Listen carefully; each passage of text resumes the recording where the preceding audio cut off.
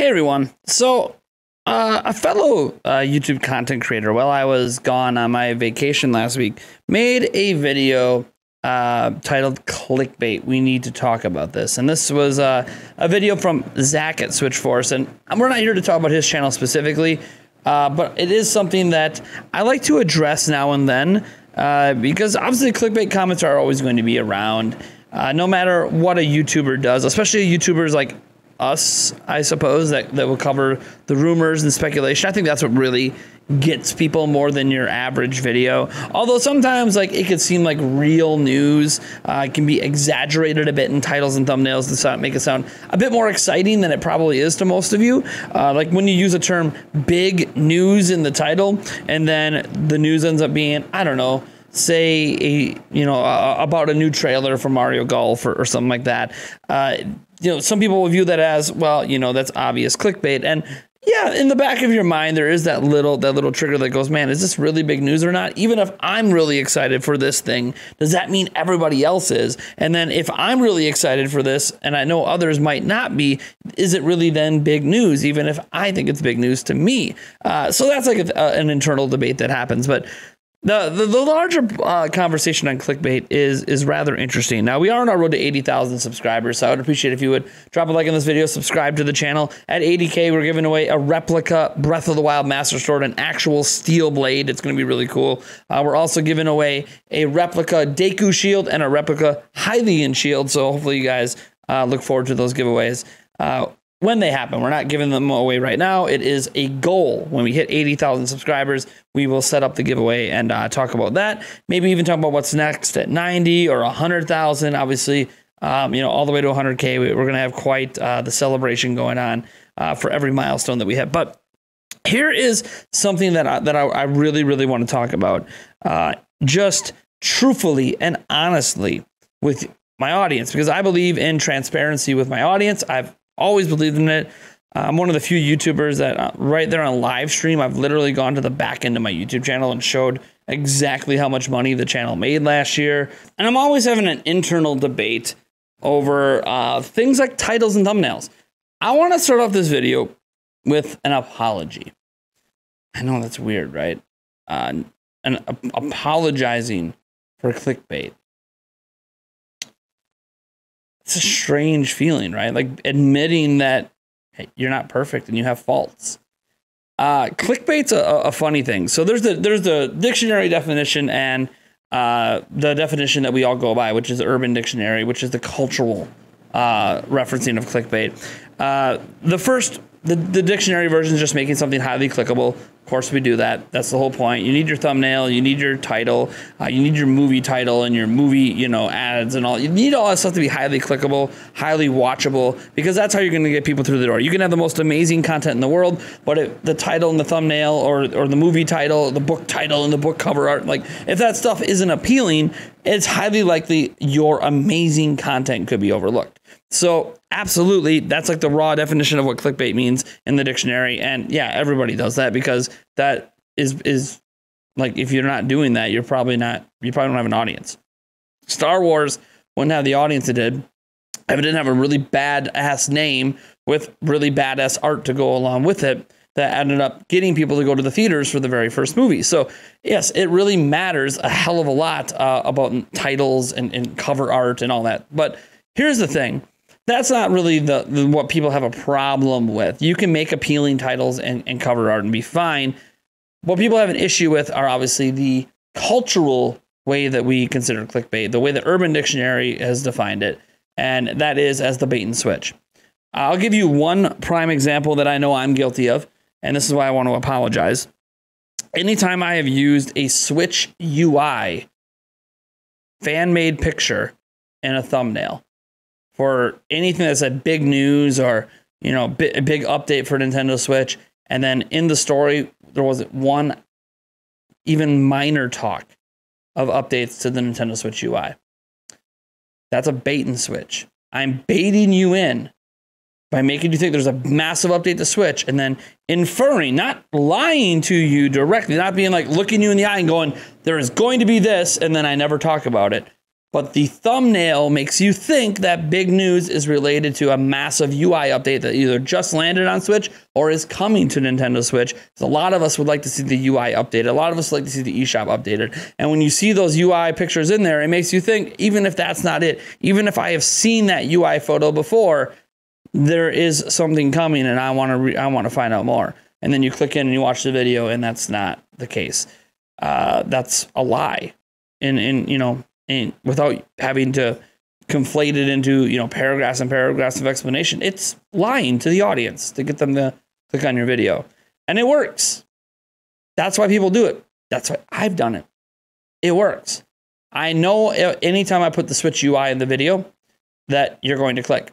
You clicked on this video and it has switch ui in it. Granted the video literally is called clickbait. That's it. There's no subtext to it. So I, I do think that uh, it's a bit more appropriate since that's one of, I feel, my personal worst offenses with clickbait. Now, this doesn't, you know, so some people get confused a little bit with clickbait. Uh, and, and this is where I, I, I will disagree with the audience a little bit because some of you guys out there, you know, will will call anytime I cover a rumor or a leak, uh, they'll, they'll just call even covering it. Like the idea of covering uh, that stuff is clickbait. And I find that to be a little interesting since I'm very careful in how I word my titles or my thumbnails to infer that it is a rumor of some type. It is not necessarily true. There are times that the title was maybe a bit too far into making you think it was real, but um, it, eh, you know, like I could argue my video yesterday. Uh, you can kind of call that um, maybe pushing the envelope too far, right? The title said Nintendo Direct still coming soon. Uh, major game revealed for it. Uh, and then in the in the thumbnail, it shows the Nintendo Direct text, you know, little winky Mario, and it says big news. Because I, I, do think it's big news. But also, uh, the thumbnail I don't think is as big an issue as the title is because it says Nintendo Direct still coming soon. It doesn't infer that this is still technically based on rumors. This is not Nintendo announcing it or something, right? Now, it's funny because people seem to generally like that video. Yeah, it's got a lot of views, also got a lot of likes. We gained a bunch of subscribers from it. Um, and I know that, you know, these rumors aren't anything new. It's sort of updating on it. It's why I felt a bit more comfortable not throwing rumor at the front of it because I'm like, hey, I think everyone at this point knows what the hell we're talking about with this stuff. So I, I didn't think I needed to go that far. But for some people, I could see where that pushes the envelope and goes too far. Uh, and I just want to I just want to say I'm sorry in general. I, I never create content, whether it's the titles, thumbnails, or what I say in the videos, to be misleading. I do not want people clicking on my videos expecting something that never happens. Uh, I, I, can't apologize for words like big news or stuff like that because that's, you know, news is the big, big news or surprising news or major, you know, these, the, these huge words that, that people like to click on. Uh, are highly subjective. You know, I, I could see a new trailer for Mario Golf and think that's a really, really big deal, and other people might, might just be like, that's nothing. But to me, that was big news. So that part's highly subjective. But what's not is when you're bait and switching and, and basically lying to your audience. And, and I'm just examining my, my own channel right now. Uh, I have to go back a little bit here before I recognize something that that uh, looks, you know, like like you know, massive game leaks. Leaks is literally quoted suggesting that you know, hey, this might not be real. I think that's totally fine. You know, anything that has rumor in the title, you know, rumor, new Switch revealed soon. Well, like that's again, it's not a lie. I'm not bait and switching you. I'm not making things up. The title and the thumbnail are directly related to what the entire video is about. That nine eh, minutes and 51 second video is entirely about the title and the thumbnail. Like, that's not clickbait. What that is, is a rumor properly titled. Um, so I do feel that some of the frustration is just with rumors in general, because uh, we do cover a lot of them. We cover a lot of them. There is some fatigue, but I've been covering them for 20 years. You guys think I'm gonna get fatigued now? Then man, I've been covering this crap since I was in my teen teen years, man. Like this is nothing new to me, man. I've been covering this stuff forever, so uh, I don't get tired by this stuff. But I understand if you do. Um, you know, big Big Breath of the Wild two features have leaked. They did. And the reason that I know they did is because they came from someone who literally works at Nintendo. Didn't really think that that was clickbait. Some people might think that it is. Uh, you, you know, you go further down, huge rumor, no problem with that. Um, then, then we're at Prime Gaming Fest, and then before before Prime Gaming Fest, you know, you'll see, you know, we had a bunch of live streams actually because there was a whole bunch of stuff going on. Uh, but then you get back to our Prime News episode. It says big news in the title. It shows Sonic and Pokemon Scarlet and Violet in the title. And it says big Nintendo Switch uh, uh, uh online update, Sonic Frontiers, and Pokemon. Only has 1,000 views. Basically nothing clickbaitable in that title. And, and, and I think that's what some people don't understand is when, when you make a title, you know, that's a 14 minute video. That video probably took me five hours to put together between research, recording, editing, uploading, creating titles. Like that video probably took me five hours. And that video made a grand total of 88 cents. Uh, whereas, uh, let's see, the video made, uh, which one? Uh, that rumor on the new Switch revealed soon, that 9 minute 51 second video, that video took me probably an hour and a half and got, you know, 600% more viewership and also made like 50 bucks.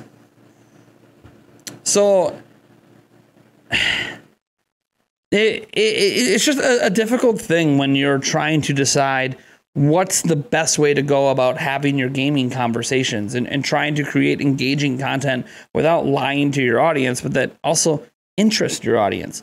You know, that Prime News episode had real legit news in it. Legit news, no rumors, no leaks, legit stuff. And nobody watched because the title and thumbnails weren't great because the news itself was maybe not the most clickable news out there. Uh, you know, before that, we had a, a, another rumor. Rumor Breath of the Wild 2 blowout next month. Okay. Like that was a rumor for July. Okay, cool. Obviously, got a lot of views because people like rumors. Um, now going back to my prior Prime News episode, Oracle of Agencies HD coming soon? Question mark. Again, that part was a bit clickable, but then the rest of the title, Reggie talks about next gen Switch. People didn't seem to care about that. You can see that in the comments. Uh, you get to you know a couple uh, videos before that. Uh, huge leak: PS5 and Xbox Series X Pro Switch 2, which is exactly what the leak was about. Basically, that that those systems are being worked on has less than 2,000 views, and it only made two dollars and 21 cents. Like, this is the reality of, of creating content is you need to create engaging titles and, and not just engaging content. If you my prime news episodes are some of the content and the podcast that I am most proud of at my channel. And it's also the content that I struggle the most with trying to find the titles um, that work. You know, if we go back a little bit earlier to some Prime News episodes from over a month ago, uh, you'll see big news, Nintendo Direct, Twilight Princess HD, Silent Hill, and more. Notice there's no rumor in there. There's no announcement of Twilight Princess HD. There's no whatever, but there is a rumor about Twilight Princess HD in the video. It's just not in the title. And it's got a, you know a Nintendo Direct thing with Doug Bowser and Twilight Princess HD in the thumbnail. And guess what? Has almost six thousand views. And you go back to the Prime News episode before that. There it is. New Switch game leaks and controller. Uh, Nintendo has a controller problem. There was a lot of legit news, 16 minutes long, and in there I'm using a new Switch UI concept. 7,000 views. You see the pattern. You see the pattern that I see, anyways. And that pattern is the more mystery and more um, interesting things you can put in your title and thumbnail, even if that stuff's in the video, uh, the more likely people are to click it.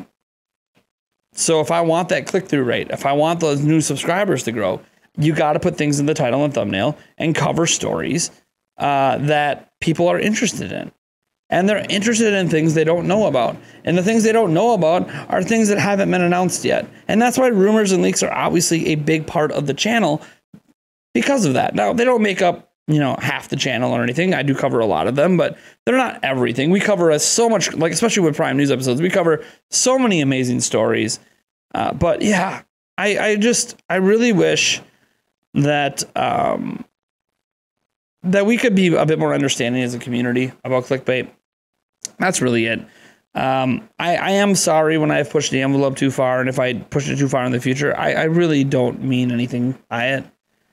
I'm being honest and transparent. I mean, you guys could can point out channels that do it different and don't have to clickbait. You know, you could, you could say something like Spawn Wave, and and I, I can argue with Spawn Wave, and I love Sean. He's he's a great content creator, great guy behind the scenes. I I can literally point to his channel and go, yeah, but Newswave isn't what made him a big channel. His Newswave episodes were actually struggling to get views for a long time. What he got views on was his more unique content, tearing down systems, showing the insides, um, buying crap from random websites like GameStop or Wish or whatever, and just seeing what happens. Like those are highly clickable, unique content. And some of you might go, well, Nate, then that's what you should be doing. You can have your news content, but also do this other stuff. And to that, I say, sure. Sure. Problem is, I keep giving away all my spare money to you guys. So I got to stop the giveaways so I can afford to do some of that stuff. And I don't want to do what other people are doing. So, what I've really built myself upon over the last 24 years is covering news. Well, writing guides. I used to write a lot of video game guides back in the day, but covering news. That's what I like to do. I like gaming conversations. I'm a gaming conversationalist. That's kind of what I call myself. So I think I'm doing a pretty good job at that. I don't know. I know that there's people who love my channel and think all my stuff's awesome, and you guys are great. Uh, but also, it's really good to get that criticism and, and be honest about it. So, I don't know. Let me know what you guys think down in the comments below. I suppose give me all the feedback you want. Blast my channel if you want. Whatever. The floor is yours. And I'll catch you guys in that next video.